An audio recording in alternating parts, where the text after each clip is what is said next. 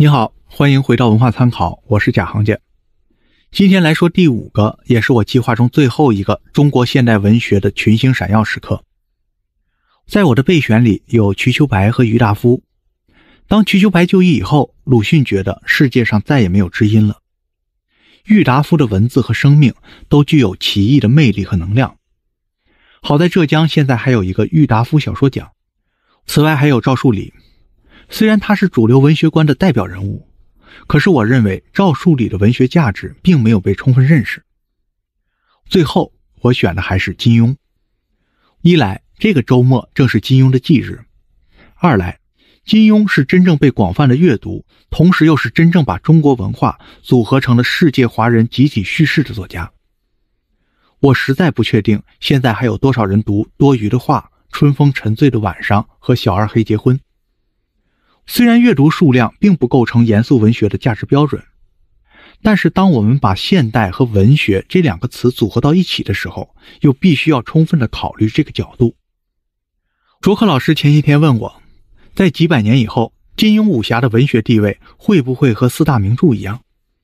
我那个时候才意识到，这个如此重要的问题，又好像是一个站在文学内部不容易看到的问题。四大名著的意义不就是一个民族、一种语言的群体叙事吗？它的基础条件很可能取决于当时的阅读和传播的程度，被普通读者拿来寄托自我的频率，以及和未来的新媒介的融合程度。我们在现代文学里很难看到比金庸更合适的标的了。我当时草率的、奇奇怪怪的估算出了一个百分之六十的可能性。主要的原因是我认为金庸的语言表达拖累了他强大的精神感悟、建立和完成命题以及统筹结构的能力。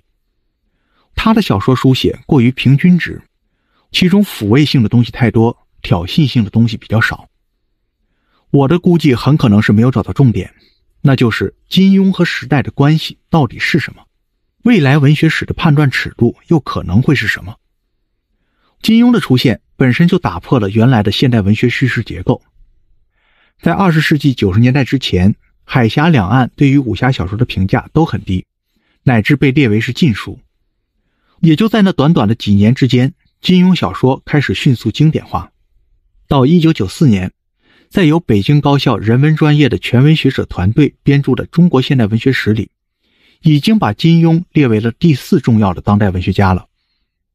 按我前几年写课稿所收集的材料，促成这次文学史转向的学者包括著名的红学家冯其庸、著名文学批评家北京大学中文系的严家岩教授和王一川教授等等，以至于很多的研究里都用上了“登峰造极”“文学革命”“不次于石头记”这样我认为是不谨慎、不适合在学术场合出现的描述。我的个人怀疑是这样的，在这个时间点上。我们昨天所说的后现代的先锋文学已经发展到了顶峰。莫言发表《丰乳肥臀》，余华发表《许三观卖血记》的一九九五年，可以作为一个标志。之后，先锋派逐渐褪去了光芒，变得个体化和普遍化了。另外，王朔也是在这个时期从创作小说转入到了影视圈。我的这个怀疑再说下去，那就要开始得罪人了。不过说话不明是很讨厌的。所以就只能把话说完，那就是批评家是靠作家吃饭的，研究历史的人是靠创造历史的人吃饭的。在批评界有一点饥不择食的时候，金庸正好提供了养分。对了，你可能还记得，王朔曾经批评金庸是很不高明的，虚构了一群中国人的形象，是以量取胜，连蒸了十四屉大馒头，饭量再大也能混个饱。当年也有学者对此表示不满，说金庸九十年代到大陆来访问，专家教授们众星捧月的一样把他围在该心，竞相表达敬仰，实在是有辱学术纯洁。其实这话要看怎么说，因为其中的很多教授都不是中文系的。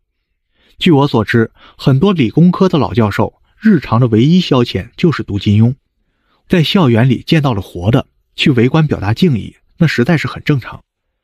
人在爱好面前会放下日常的理性，说一些抒情的过格的话。爱好的意义就在于从理性里抽离出来一会儿，区别主要在于这个人是在专业场合之外偶尔放下理性，还是从来就没有建立过理性？艺术史家乌宏在他的回忆文集《报记》里也说过，除了专业的书籍，他读的最多、最熟的也是金庸，可以拿起来随便翻开一页就读下去。他和自己的老师考古人类学大家张光直先生平常聊天的时候，谈的最多的也是金庸。区别只是张光直同时也了解更早的《还珠楼主》王度庐时代的民国武侠。这类现象又说明。金庸正好是各个受教育水平群体中都合乎民意的文学话题，有道是人民群众喜欢，你不喜欢，你算老几？是不是？起码在三十岁以上的中国人里，很难遇到一个没有看过金庸的。从文学史的视角来看，需要说清的是，为什么所有人都喜欢金庸，又为什么是从这个时候开始的？我勉强算是读完了一遍金庸武侠。还是出于前几年写《假行家说武侠》的工作需要，在上线直播之前，课程主编李倩老师一再的警告我，不许把我对武侠小说不感兴趣这句话说出来。我为什么总想说这句话？好像是老实，又好像是自以为是，请原谅我这种浅薄的虚荣心。王德威版的《哈佛中国现代文学史》的优点就是不定性，只描述事件。有关金庸的事件。在全书下卷出现了两次，从篇幅上讲，这个戏份已经高过了其他当代小说名家了。这两次事件你可能比我熟悉，值得咱们留意的正是金庸和时代的关系。第一个事件是在1955年的2月8日，金庸宇宙的第一块拼图《书剑恩仇录》以报刊连载的形式出现了。在香港，这位31岁的查先生。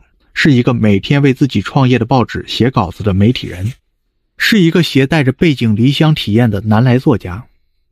现实的处境需要他收起离愁别恨，另起炉灶，开辟事业和社区。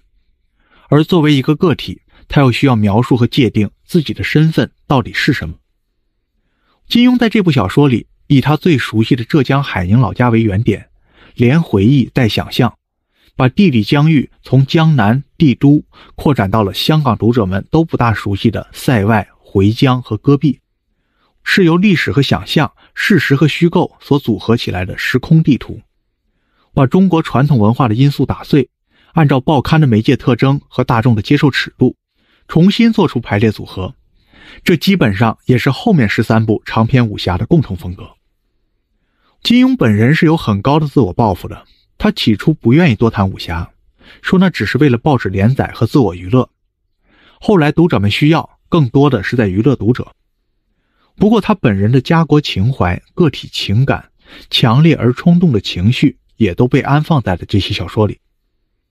记述这段文学史的作者是美国罗格斯大学的宋伟杰教授，其中有一段很动人的描述：金庸是在香港这个借来的时间中。再一次的租借时间，租借前朝的历史和传奇，构建香港乃至华人语系世界读者受众在冷战与后冷战时代的集体侠客梦。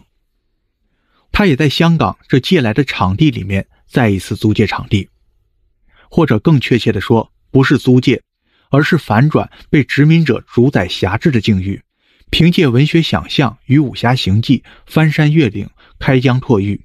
重申中国想象。从五十年代开始，真正打动香港和海外华人读者的，应该是这种回忆中的中国想象。三四十年后，这些小说又开始打动已经和传统文化产生断裂的大陆读者。比起严肃文学提出的那些现代的、后现代的问题，读者对于金庸武侠里所提出的，是尽到家国大义，还是成全儿女之情、朋友之义？是出世还是入世，是选择庙堂还是归隐，这类传统文化和身份问题，倒是更有切身感受。我常常想，到底有多少人是从来就没有生活在真正的现代社会的？也许金庸代表的才是中国人对于时代的感受，不是他多么的想争馒头，是大众一直在寻找馒头。在这部文学史里，金庸的另一次出场是在一九六七年。在那次香港的社会动荡里，比较倾向左翼的金庸也一度遭遇生命威胁。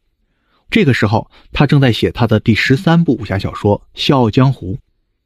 比起普通小说家来，金庸的过人之处是对政治问题有灵敏的感受和分析能力，《笑傲江湖》里的隐喻是丰富、完整而明确的，抓住了很多纷纭现象的核心问题，描述出那些标签一样的观念为什么会把武林世界搞到四分五裂。这方面我就不用说的太明了吧？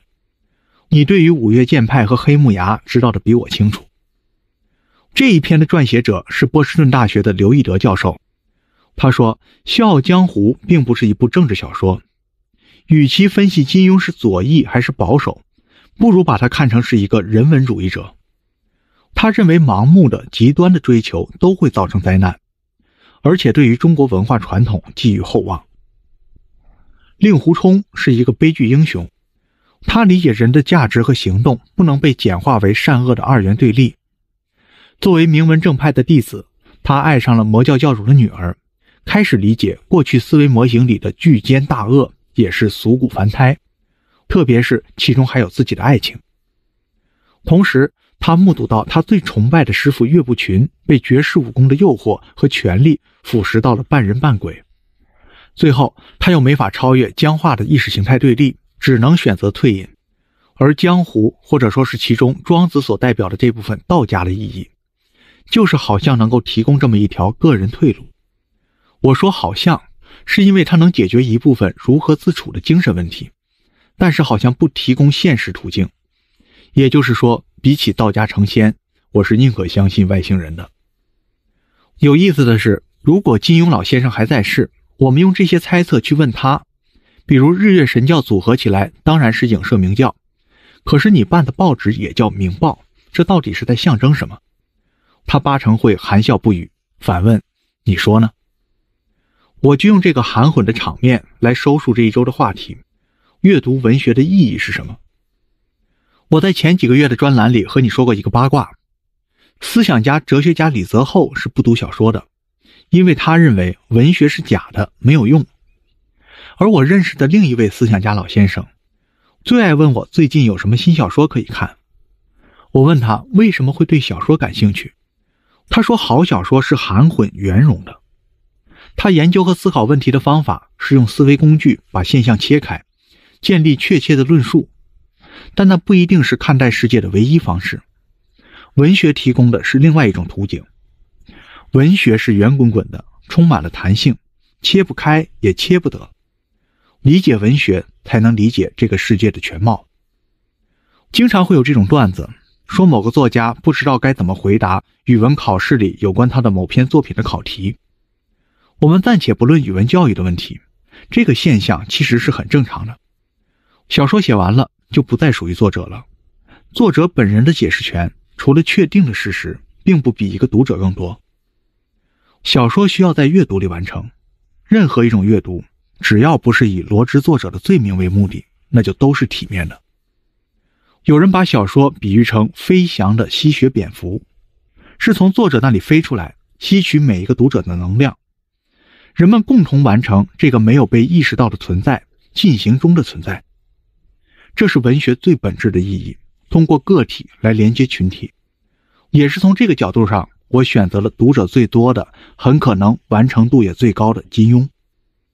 下一周呢，我还打算再介绍两个有关武侠题材在当下媒介里的案例，期待你的不同感悟。我们下周再会。